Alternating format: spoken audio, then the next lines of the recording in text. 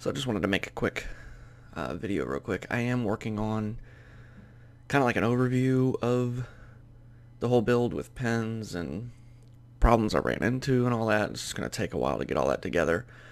Um, but in the meantime, I did want to transfer the learning, the fuel learning values to the base fuel, which you do not have to do. Uh, the base fuel map is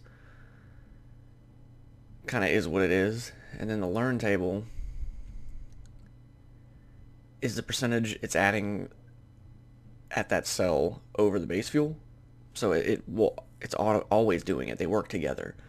Um, but I'm going to transfer what it's learned to the base and then turn down the closed loop learn. Um, in this area, I turned it way up because I was having so many problems at idle. was running so lean. Um, I'm going to turn that back down to 50%, which is still pretty high, but I've only run it a little bit. Um, once you get this close to where you want it, you can turn it down to 20, or I've heard even less than that people do. Um, but I'm going to back that back down to 50. Um, nothing was over 50. The highest one was this, I think, 46.2 um, over that cell, so it was 69 kPa at 2000 RPM. 2000 RPM, 69 kPa. So it was adding 46.1 to that. Um, so I'm going to transfer it and then uh, smooth it and then let it kind of keep learning. Um,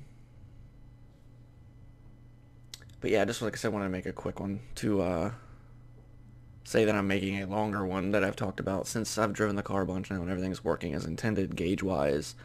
Um, it's running real good. So I feel confident in saying what wire, you know, the pins that I used and cut out. Um, so that's coming soon. Um, don't know when, but I'm working on it um, as we speak. But yeah, I'm going to go ahead and transfer this. Usually when you transfer it, it's going to ask if you want to smooth it.